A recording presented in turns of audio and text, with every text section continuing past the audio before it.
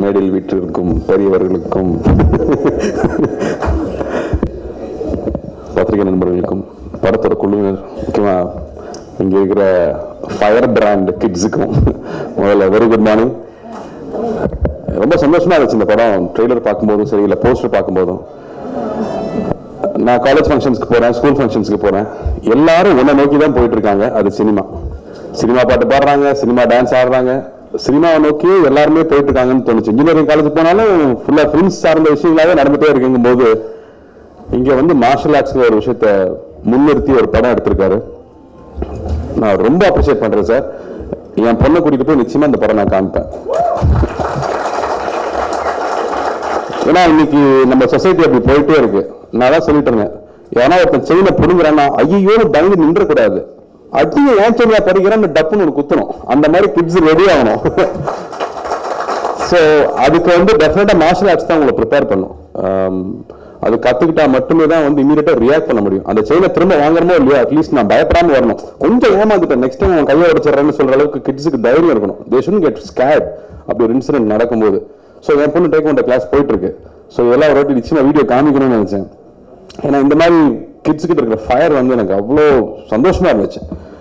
எல்லாரும் எப்பவும் டிவி பார்த்துட்டு இருக்கோம் நினைச்சிட்டு இருக்கோம் ஐபேட பார்த்துட்டு இருக்காங்க இல்லை நம்ம ஃபோனை கொடுத்துறோம் நமக்கு டைம் வேணுங்கிறக்காக ஃபோனை கொடுத்துறோம் அப்படி இல்லாமல் இங்கே கிட்ஸை வந்து அவங்க ஸ்டேஜில் பெர்ஃபார்ம் பண்ணாங்க. அவங்களுக்கு இருக்கிற ஃபயர் வந்து அவ்வளோ இன்ஸ்பைரிங்காக இருந்துச்சு. அவ்வளோ சந்தோஷமா இருந்துச்சு பார்க்குறக்கு ஸோ அந்த ஸ்கூல் நடத்திட்டு இருக்காங்க.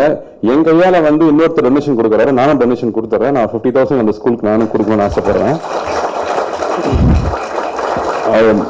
சின்ன தொகை தான் பட் யூஸ்ஃபுல்லாக இருக்கும்னு நம்புறேன். அண்ட் uh, இந்த படத்தோட ப்ரொடியூசர் டைரக்டர் அவரை பற்றி நான் யோசிச்ச போது கீழே உட்காந்து நான் யோசிச்சுட்டு இருந்தேன். இந்த படத்தை என்ன தைரியத்தில் அவர் எடுத்திருக்காரு? வெறும் கிட்ஸ் மட்டுமே வச்சுட்டு எடுத்திருக்காருன்னு.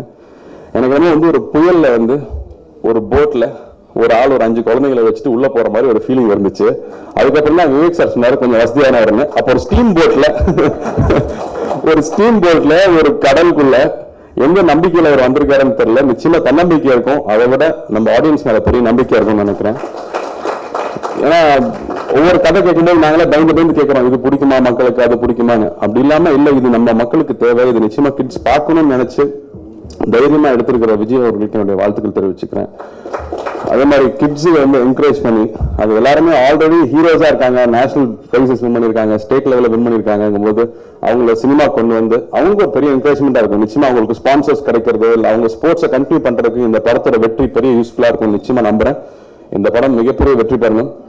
அண்ட் uh, இன்னொரு விஷயம் அந்த ஸ்க்ரீனில் குழந்தைங்களோட இன்ட்ரோ பார்த்துட்டு இருந்தேன். இப்போல்லாம் குழந்தைங்க பிறந்த வந்து முதல்ல கேமராவை காமிச்சிடுறாங்கன்னு நினைக்கிறேன்.